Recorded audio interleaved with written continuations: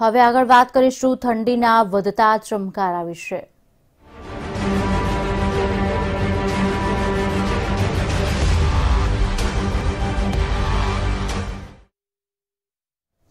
રાજ્યમાં મોડો મોડો પણ હજી ઠંડીનો અહેસાસ થઈ રહ્યો છે.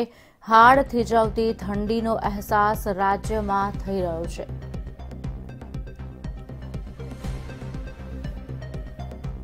ચાર પોઈન્ટ ત્રણ ડિગ્રી સાથે નલિયા સૌથી ઠંડુગાર જોવા મળી રહ્યું છે. ત્યારે અમદાવાદમાં લઘુત્તમ અગિયાર પોઈન્ટ બે ડિગ્રી તાપમાન નોંધાવા પામ્યું છે. વડોદરામાં દસ પોઈન્ટ ચાર ડિગ્રી લઘુત્તમ તાપમાન નોંધાયું છે. ત્યારે સુરતમાં તેર પોઈન્ટ આઠ ડિગ્રી લઘુત્તમ તાપમાન નોંધાવા પામ્યું છે. રાજ્યમાં હાડ થીજવતી ઠંડીનો અહેસાસ થયો છે. ત્યારે ચાર પોઈન્ટ ત્રણ ડિગ્રી સાથે નલિયા સૌથી ઠંડુગાર બન્યું છે. અમદાવાદમાં લઘુત્તમ અગિયાર પોઈન્ટ બે ડિગ્રી તાપમાન નોંધાવા પામ્યું છે. ત્યારે વડોદરામાં દસ પોઈન્ટ ચાર ડિગ્રી લઘુત્તમ તાપમાન નોંધાવા પામ્યું છે.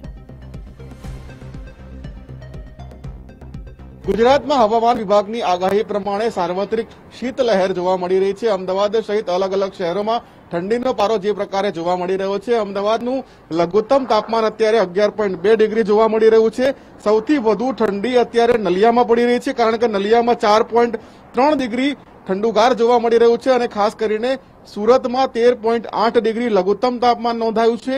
વડોદરામાં દસ પોઈન્ટ ચાર ડિગ્રી લઘુત્તમ તાપમાન. રાજકોટની વાત કરીએ તો રાજકોટમાં પણ લઘુત્તમ તાપમાન અગિયાર ડિગ્રી નોંધાયું છે અને ગાંધીનગરની વાત કરીએ તો ગાંધીનગરમાં પણ અત્યારે છ પોઈન્ટ આઠ ડિગ્રી તાપમાન એટલે કે ડીસા બાદ ગુજરાતમાં સૌથી વધુ ઠંડુગાર સિટી હોય તો તે ગાંધીનગર છે અને ગુજરાતમાં આગામી ત્રણથી ચાર દિવસ આ જ પ્રકારે ઠંડીનો માહોલ રહેશે તેવું હવામાન વિભાગે માહિતીઓ વ્યક્ત કરી છે. કેમેરા પર્સન યોગેશ જયસ્વાલ સાથે ભાવેશ રાજપૂત, મંતવ્ય ન્યૂઝ, અમદાવાદ. ત્યારે રાજ્યમાં હાડ થીજવતી ઠંડીનો અહેસાસ થયો છે. આપને જણાવી દે, આપને જણાવી દઈએ. આ જ અંગે વિગત આપશે અમારા સંવાદદાતા રાજકોટથી મયુર અમારી સાથે લાઈવ જોડી ચૂક્યા છે. મયુર, રાજકોટની શું સ્થિતિ જોવા મળી રહી છે? એક તરફ રાજ્યમાં ઠંડીનો ચમકારો વધી રહ્યો છે. ત્યારે રાજકોટમાં અત્યારે કેટલા ડિગ્રી તાપમાન નોંધાવા પામ્યું છે? શું વિગતો? કુશલી રાજકોટની અંદર પણ છેલ્લા એક સપ્તાહથી તાપમાનનો પારો છે, તે સતત નીચો જઈ રહ્યો છે, પરંતુ છેલ્લા ચાર દિવસની સરખામણીની અંદર તાપમાનનો પારો છે, તેમાં એક ડિગ્રીનો વધારો થયો છે. ગઈકાલ સુધી સાડા નવ ડિગ્રી સુધી તાપમાન હતું અત્યારે સાડા દસ ડિગ્રી સુધીનું તાપમાન નોંધાયું છે.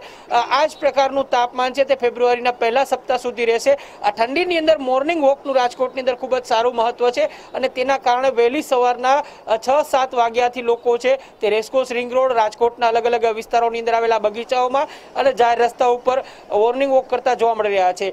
શિયાળો છે તે હંમેશા માટે તંદુરસ્તી બનાવવાનું એક સારી ઋતુ માનવામાં આવે છે અને તેના કારણે મોટી સંખ્યાની અંદર લોકો પરિવાર સાથે મોર્નિંગ વોક માટે નીકળે છે અને તેના કારણે રાજકોટની અંદર છે તે વહેલી સવારના લોકોની ચહલ પહલ પણ જોવા મળી રહી છે.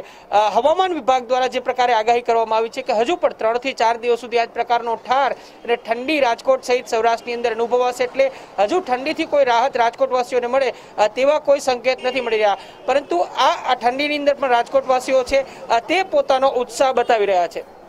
જી મયુર આભાર સમગ્ર માહિતી આપવા બદલ અપડેટ્સ આપની પાસેથી લાતા રહીશું.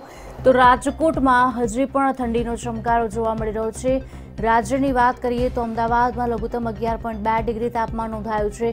ત્યારે નલિયામાં સૌથી ઓછું ચાર પોઈન્ટ ત્રણ ડિગ્રી તાપમાન સાથે લઘુત્તમ તાપમાન સાથે ઠંડુગાર શહેર બન્યું છે. વડોદરામાં દસ પોઈન્ટ ચાર ડિગ્રી તાપમાન નોંધાવા પામ્યું છે. જ્યારે સુરતમાં તેર પોઈન્ટ આઠ ડિગ્રી તાપમાન નોંધાવા પામ્યું છે. રાજકોટમાં અગિયાર પોઈન્ટ એક ડિગ્રી, જ્યારે ગાંધીનગરમાં છ પોઈન્ટ આઠ ડિગ્રી તાપમાન નોંધાયું છે. એક તરફ જ્યારે ધીરે ધીરે ઠંડીનો પારો ગગડી રહ્યો છે, ત્યારે તાપમાનમાં પણ ઘટાડો જોવા મળી રહ્યો છે અને સાથે જ ઠંડીનો પારો પણ દિવસે ને દિવસે ગગડી રહ્યો છે, જેના કારણે ઠંડીનો અહેસાસ વધારે થઈ રહ્યો છે.